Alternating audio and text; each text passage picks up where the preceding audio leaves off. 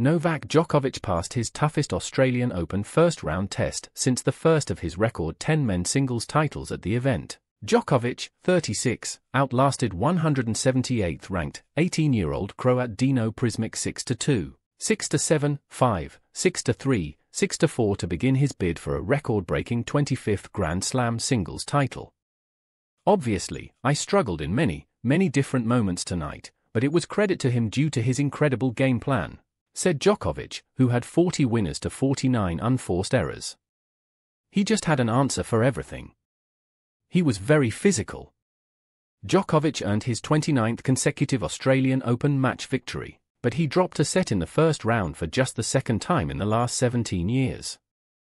Prizmic further pushed Djokovic in the third set, breaking serve in a 17-minute game to go up 3-2, but Djokovic won the next eight games. Prizmic had a chance to become the first man to win two sets off Djokovic in the first round of a major since the 2010 US Open, Viktor Troicki, and the first to do it at the Australian Open since American Paul Goldstein in 2006.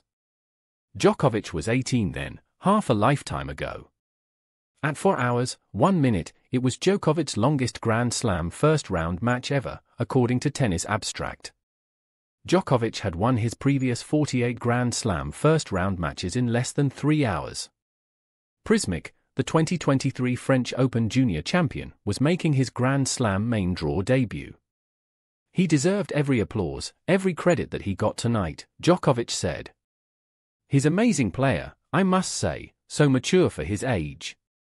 This is his moment, honestly. It could have easily been his match as well. Djokovic next plays an Australian 43rd ranked Alexei Popyrin or number 156 Marc Polmans.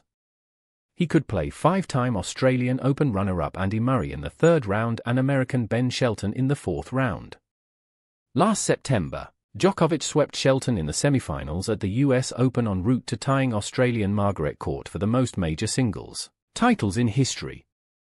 Also Sunday, Taylor Fritz, the highest-seeded American man at number 12, needed five sets and ankle treatment to reach the second round. Another American, Amanda Anisimova, took out number 13 Ludmila Samsonova of Russia in Anisimova's first slam match since taking a mental health break last May, and returning to competition this month. Anisimova reached the 2019 French Open semifinals at age 17. Denmark's Caroline Wozniacki, the 2018 Australian Open champion, advanced in her first match in Melbourne since ending a three-and-a-half-year retirement last summer. Wozniacki, 33, was up 6-2, 2-0 on number 20 Magda Linette of Poland when Linette, a 2023 Australian Open semi-finalist, retired due to injury. The Australian Open continues Monday, Sunday night in the US, with US Open champion Coco Gauff and Naomi Osaka in action. Osaka, a four-time major winner, is playing her first slam since returning from childbirth.